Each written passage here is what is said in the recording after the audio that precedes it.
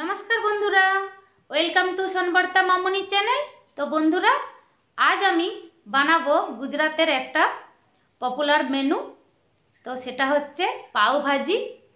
তো আমি পাও ভাজিটা খুব সহজ তালিকায় দেখাবো, তাকি সবাই ভালোভাবে বানাতে পারে। তো চলুন, দেখে নেওয়া যাক পাও ভাজিটা বানাতে কি কি জিনিসের প্রয়োজন। তো দেখুন বন্ধুরা, আমি এখানে পাও ভাজি বানানোর জন্য নিয়ে নিয়েছি, একটা ফুলকপি কেটে নিয়েছি এইভাবে, আর আলু একটা বড় কেটে নিয়েছি। আর এখানে আছে দু তিনটা গাজর, আর তিনটে টমাটো, আর একটুখানি বাঁধাকপি কেটে নিয়েছি। তো আমি প্রথমে এই সব সবজিগুলো আমি প্রেসার কুকারে সিদ্ধ হতে দিয়ে দেব। খুব ভালো করে যেন সিদ্ধ হয়।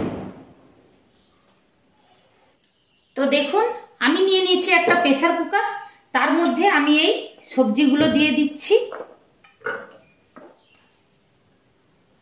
তো এবার আমি এর মধ্যে দিয়ে দেব জল। তো জলটা আপনারা দেখে দেবেন, খুব বেশি দেবেন না, খুব কমও দেবেন না। সবজিগুলো ঠিক আধা আধা ডুববে, আর বাকি উপরে থাকবে। এইভাবে দেবেন, কোনো অসুবিধা নেই। আর এই জলটাই কিন্তু আপনারা এই জলটা ফেলে দেবেন না, কারণ এই জলটাই এই ভাজিটাতে দেওয়া হবে। তো আমি লাগিয়ে দিয়েছি। বাস, এবার আমি এটা সিদ্ধ হতে বসিয়ে দেব। তো এটা আমি প্রায় আটটা সিটি দেব। তাকে একদম ভালোভাবে সিদ্ধ হয়ে যায়? আপনি হাত দিলেই যেন গলে যায়। তো দেখুন বন্ধুরা, আমি প্রায় আটটা সিটি দিয়েছি সবজিগুলোতে। তো এবার আমি সবজিগুলো একটু একটু করে বের করে নেব। আর সবজিটাকে ভালো করে আমি তো থেসে নেব। তো দেখুন, আমি এটা দিয়ে এটা ভালো করে এভাবে থেসে নেব। তো দেখুন, এটা আমি ভালোভাবে থেসে নিয়েছি। একদম একটু যেন গোটা না থাকে। তো এবার আমি এর মধ্যে মটরশুঁটি দেব। মটরশুঁটিটা আমি একটু বয়েল করে রেখেছিলাম। মটরশুঁটিটা আমি শেষে দিলাম তাকে এটা একটু গোটা গোটা থাকে। এটা আমি একদম ভালোভাবে থাসবো না। তো এইভাবেই আমি ছেড়ে দিলাম। তো এবার আমি একটা কড়াই নেব। তো আমি গ্যাসটা জ্বালিয়ে নিলাম আর একটা কড়াই নিয়ে নিলাম। কড়াইটা গরম হতে দেব। তো আমার কড়াইটা গরম হয়ে গেছে। এবার আমি তেল দিয়ে দেব।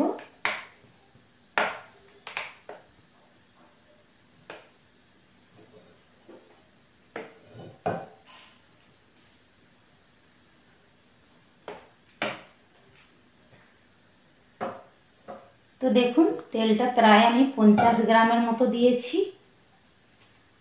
তো এবার আমি এর মধ্যে দিয়ে দেব, দেখুন, রসুন থেঁতো করে রেখেছিলাম, প্রায় তিন চামচের মতো, তো এটা আমি এবার দিয়ে দেব।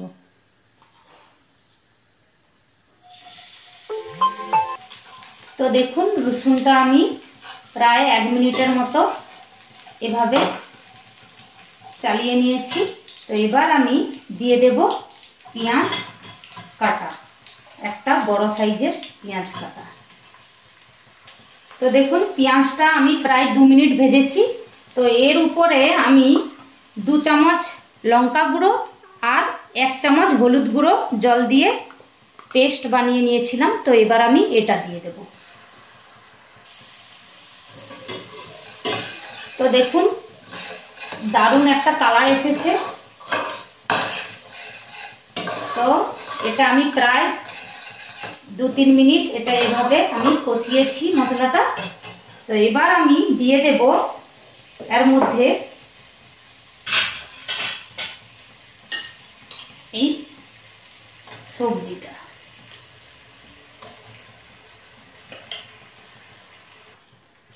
তো দেখুন এটা আমি দু তিন মিনিট নেড়ে নিয়েছি। এবার আমি দেব লবণ।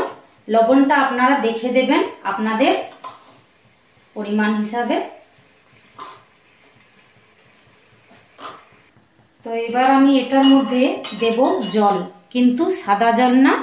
যেটা আমি সবজি বয়েল করে জলটা রেখেছিলাম, ওই জলটাই আমি দেব। তো দেখুন, আমি পুরো জলটা দিয়ে দিয়েছি। তো দেখুন বন্ধুরা, প্রায় পাঁচ মিনিট হতে যায় আর আমার হালকা ফুড এসেছে, তো এই সময় আমি দিয়ে দেব পাও ভাজি মশালা। এটা কিন্তু খুব জরুরি, এটা ছাড়া কিন্তু পাও ভাজি বানানো অসম্ভব। তো দেখুন, পাও ভাজি মশালা খুব সহজেই মার্কেটে পাওয়া যায়।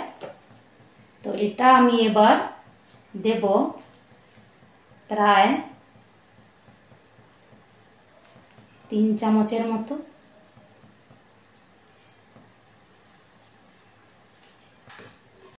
বন্ধুরা, আপনারা চাইলে কিন্তু পাও ভাজি মশলাটা বাড়িতেও বানাতে পারেন।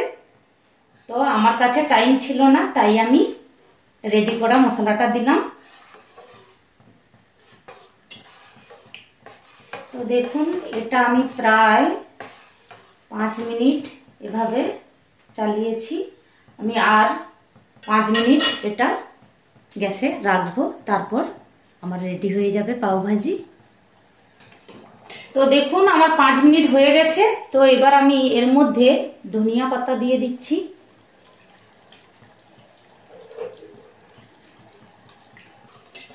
তো দেখুন, আমার ভাজি একদম রেডি তো এবার আমি গ্যাসটা বন্ধ করে দিচ্ছি আর আলাদা পাত্রে ঢেলে আপনাদের দেখাচ্ছি।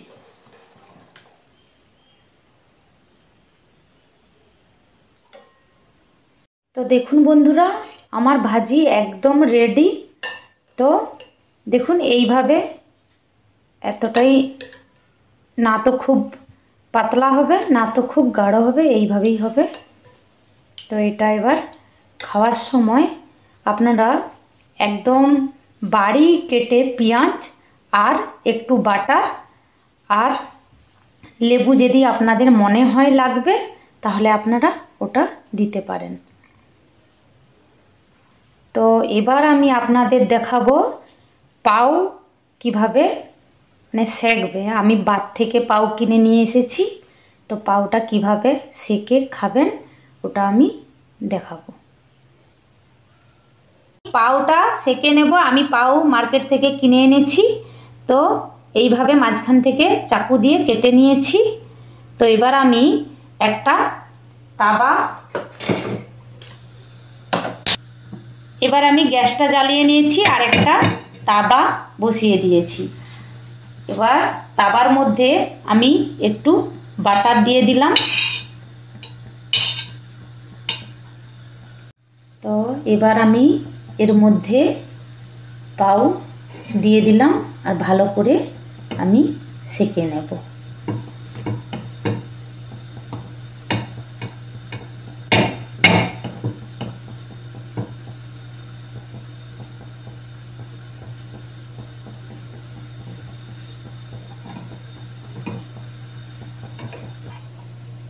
তো দেখুন, আমার পাউটা সেকা হয়ে গেছে। তো আমি নামিয়ে নিলাম। তো দেখুন, আমার পাও ভাজি একদম রেডি আমি ভাজির উপরে অল্প করে কাটা পেঁয়াজ ছড়িয়ে নিয়েছি। তো একদম সিম্পল আর বেশি আমি রিচ করিনি। তো আপনারা চাইলে ভাজিটা একটু রিচ করতে পারেন, একটু পাইসি বানাতে পারেন। তো রেসিপিটা যদি ভালো লেগে থাকে, তাহলে অবশ্যই সাবস্ক্রাইব করে দেবেন। তো চলুন, আবার দেখা হবে পরের ভিডিওতে বাই